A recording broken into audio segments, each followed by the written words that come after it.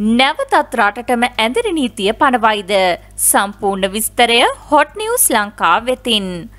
ජනතාවගේ නොසැලකිලිමත් හැසිරීම හේතුවෙන් ඉදිරියේදී රට තුළ කොවිඩ් රෝගීන් වර්ධනය වුවහොත් අනවශ්‍ය ලෙස සීමා පැනවීමට සිදුවන බව සෞඛ්‍ය සේවා අධ්‍යක්ෂක ජෙනරාල් වෛද්‍ය අසෙල ගුණවර්ධන මහතා පවසයි.